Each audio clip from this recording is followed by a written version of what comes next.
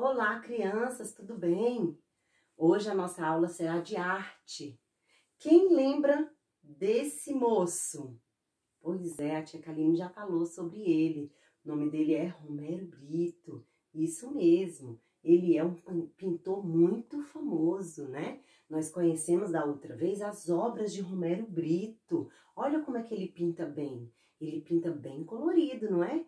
Romero Brito vou lembrar um pouquinho sobre a vida dele. Romero Brito é antes de ser pintor, ele estava estudando para ser advogado. Só que ele não estava gostando. Aí o que, que ele fez? Resolveu trancar o curso e ele foi ser o quê? Pintor, artista. E aí ele começou a pintar um monte de quadros e ele ficou famoso e bem conhecido, né? E a, que a tia Kaline, a atividade que a tia Kaline vai pedir para vocês realizar é essa aqui, ó, do bloco de atividade de vocês, número 6.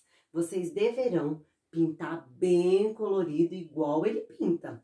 Ele gosta de usar cores quentes, cores fortes, como amarelo, vermelho, marrom, azul, para destacar bem as pinturas dele.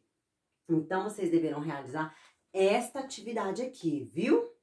A outra revisão que nós iremos falar é sobre alto e baixo. Preste atenção neste pote. Ele é o quê? Alto. E esse pote aqui é o quê? Baixo. Isso mesmo. Alto, baixo. É... Se eu chamar meu filho, e vocês vão ver uma coisa, quer ver? Vem aqui, Felipe.